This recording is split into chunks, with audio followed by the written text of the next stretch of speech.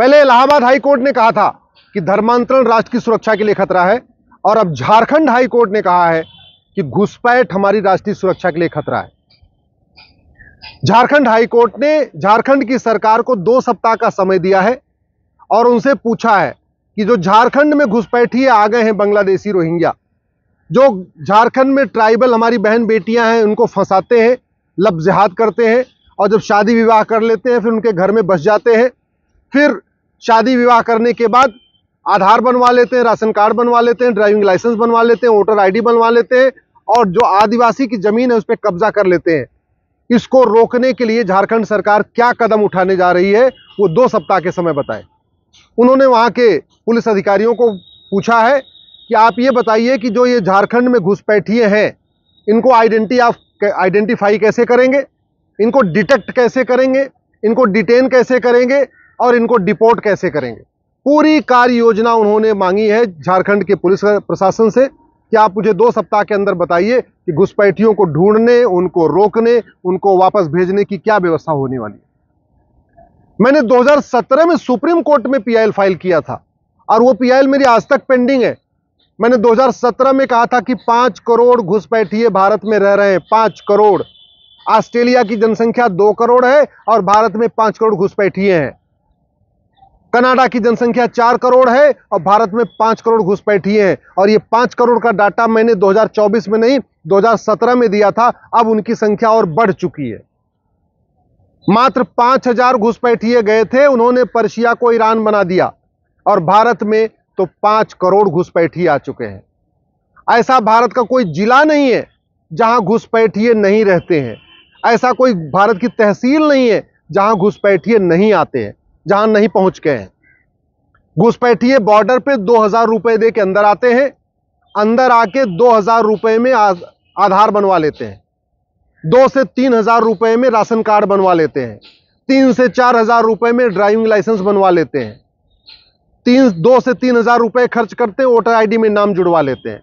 और जब उनके पास चार पाँच कागज़ हो जाता है, फिर उसके बाद वो बैंक में खाता खोल लेते हैं। और झारखंड में तो घुसपैठियों को डबल फ़ायदा हो रहा है। पहला, आदिवासी महिलाओं से शादी कर लेते हैं तो सारी जो ट्राइबल की योजनाएँ हैं, जो आदिवासियों को मिलने वाले सारे लाभ हैं, उनको मिलने लगता है। रिजर्वेशन का भी उनको फ़ायदा मिलता है। एससी जो ट्राइबल का फ़ायदा है, और भी मिलता है, उनको मुफ़्त में राशन, मुफ़्त में दुकान, मुफ़्त में मकान, मुफ़्त में अनाज, वो सारा फ़ायदा भी उठाते हैं।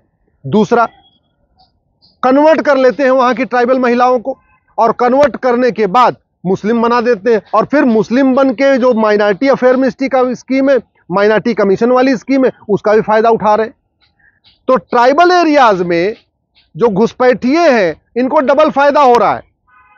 शेड्यूल ट्राइब का भी फ़ायदा पूरा मिल रहा है और माइनॉरिटी का भी पूरा फ़ायदा मिल रहा है। और घुसपैठ इसलिए हो रही है क्योंकि 1946 का जो फॉरनर एक्ट है महा घटिया है, सड़ा हुआ है, रद्दी की टोकरी में फेंकने लायक है। दुर्भाग्य यह है, उस फॉरनर एक्ट पे 1946 के जो फॉरनर एक्ट है, उस पर संसद में चर्चा ही नहीं हो रही, ना लोकसभा में चर्चा हो रही, ना राज्यसभा में चर्चा हो रही। तू तू मैं में होता है लोकसभा, राज्यसभा में बेकार की बातों पे। बेकार की बातों पे बतौलेबाजी होगी, चुटकुले सुनाए जाएँगे शेरो शायरी होती रहेगी, और कविता पाठ होता रहेगा, सब कुछ होता है संसद में, लेकिन घुसपैठ क्यों हो रही है? घुसपैठ का मूल कारण क्या है? घुसपैठ का अस्थायी समाधान क्या है? इस पर चर्चा ही नहीं होती। घुसपैठ को रोकना है तो सबसे पहले 1946 वाला जो फॉरनर एक्ट है, उसको रद्दी की टोकरी में फेंकना होगा, एक नया कानून बनाना होगा। घुसपैठ को राष्ट्र की सुरक्षा के लिए खतरा घोषित करना होगा और घुसपैठियों और उनके मददगारों पे नेशनल सिक्योरिटी एक्ट लगाना होगा। घुसपैठ अगर रोकना है तो घुसपैठ को हमें देश की एकता अखंडता के लिए खतरा घोषित करना होगा और घुसपैठियों और उनके मददगारों पे यूएपीए भी लगाना पड़ेगा। घुसपैठ अगर रोकना है तो हमें इसको एक देशद्रोह घोषित करना होगा और घुसपैठियों और उनके मददगारों पे देशद्रोह की धारा लगानी होगी। घुसपैठ अगर रोकना है तो हमें इसे वेजिंग वॉर डिक्लेयर करना होगा। वेजिंग वॉर में आजीवन कारावास फांसी होती है, लेकिन हमने घुसपैठ को वेजिंग वॉर डिक्लेयर ही नहीं किया है।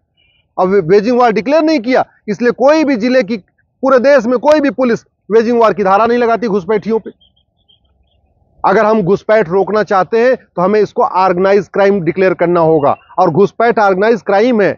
कोई वहाँ से आता है, कोई आधार देता है, कोई राशन कार्ड देता है, कोई वोटर आईडी देता है, कोई ड्राइविंग लाइसेंस देता है, सब उनको बनवा बनवा के देते हैं। तो घुसपैठियों और उनके मददगारों के खिलाफ गैंगस्टर एक्ट लगाना होगा, उनकी 100 परसेंट प्रॉपर्टी जब्त करना होगा, उनकी नागरिकता खत्म करना होगा, उनको आजीवन कारावास फांसी देना होगा, तब जाके घुसपैठ रुकेगी। और वो भी तारीख पे तारीख चलती रहेगी, तब भी घुसपैठ नहीं रुकेगी।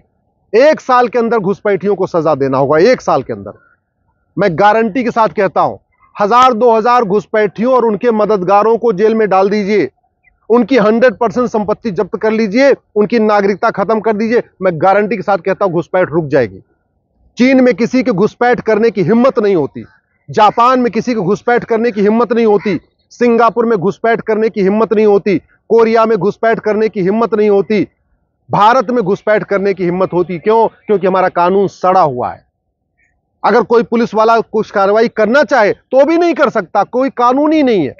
अंत में उनको फॉरनर एक्ट लगाना होगा जो सड़ा हुआ है, पासपोर्ट एक्ट लगाना होगा, वो भी सड़ा हुआ है।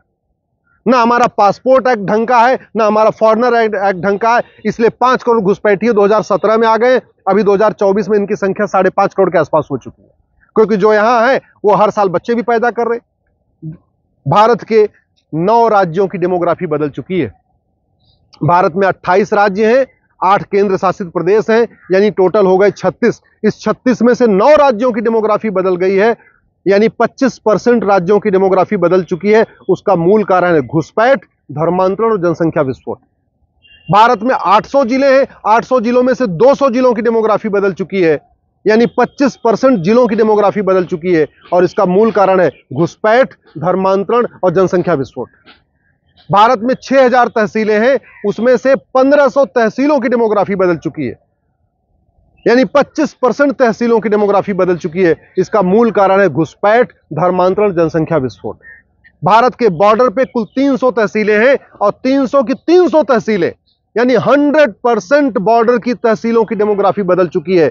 चाहे वो नेपाल का बॉर्डर हो, पाकिस्तान का बॉर्डर हो, हिमालय का बॉर्डर हो, म्यांमार का बॉर्डर हो, या इधर आप चलिए, समुद्र का बॉर्डर हो, जो हमारे भारत के बॉर्डर पे 300 तहसीलें हैं, इनकी 300 की 300 की डेमोग्राफी बदल चुकी है। इसका मूल कारण है घुसपैठ, धर्मांतरण, जनसंख्या विस्फोट।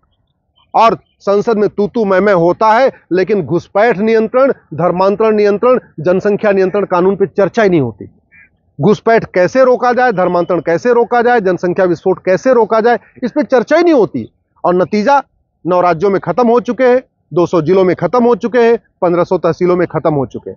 अगर हमने घुसपैठ को देशद्रोह घोषित नहीं किया, घुसपैठियों के खिलाफ और घुसपैठियों के मददगारों के खिलाफ एनसे नहीं लगाया, यूएपीए नहीं लगाया, वेजिंग वॉर की धारा नहीं लगाई गैंगस्टर एक्ट नहीं लगाया, इनकी 100 परसेंट प्रॉपर्टी जब्त नहीं किया, इनके ऊपर देशद्रोह की धारा नहीं लगाई, इनको आजीवन कारावास फांसी नहीं दिया तो याद रखिएगा, आने वाले टाइम में पूरे देश से हिंदू खत्म हो जाएगा 25 से 30 साल के अंदर। और दो में वही होगा जो उन्नीस सौ सैंतालीस में हुआ था। और इसके लिए जिम्मेदार होंगे ये नेता। और एक बात याद रखिएगा आज के नेता 25 साल के बाद आपका घर बचाने नहीं आएँगे। आज के नेता 25 साल बाद जब ये घुसपैठी आपका घर जलाएँगे, इसमें से कोई आपका घर बचाने नहीं आएगा। न उन्नीस में किसी ने बचाया किसी नेता ने किसी का घर, न जब कश्मीर में घर जल रहा था किसी नेता ने बचाया, न बंगाल में जब घर जल रहा था किसी नेता ने बचाया, न मणिपुर में घर जल रहा था किसी नेता ने बचाया। ये नेता केवल तू तू मैं मैं करेंगे, आरोप प्रत्यारोप करेंगे, नूरा कुश्ती करेंगे, बतौलेबाजी करेंगे। वास्तव में अगर भारत को बचाएगा तो कठोर कानून बचाएगा। घुसपैठ नियंत्रण कानून, धर्मांतरण नियंत्रण कानून, जनसंख्या नियंत्रण कानून। इसलिए मैं आपसे हाथ जोड़ के निवेदन कर रहा हूँ, इस विषय को बढ़ाइए, पाँच पाँच हज़ार फेसबुक फ्रेंड बनाइए, समस्या लिखिए, उसका मूल कारण लिखिए, अस्थायी समाधान लिखिए, नेताओं की बतौलेबाजी से दूर हो जाइए, पॉलिटिकल पार्टियों की गुलामी छोड़िए, दल गुलामी छोड़िए, नेताओं की चाकरी छोड़िए, नेताओं की जय जयकार छोड़िए।